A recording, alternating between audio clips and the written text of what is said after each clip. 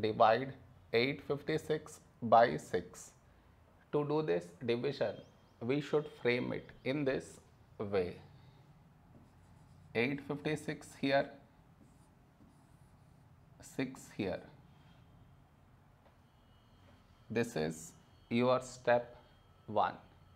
Next, here we have 8, here 6. A number close to 8 in 6 table is 6 ones 6. Now we should subtract, we get 2. After this, bring down the beside number, so 5 down, so 25. A number close to 25 in 6 table is 6 fours 24. Now we subtract, we get 1. After this, bring down the beside number, so 6 down, so 16. A number close to 16 in 6 table is 6 twos 12. Now we subtract, we get 4.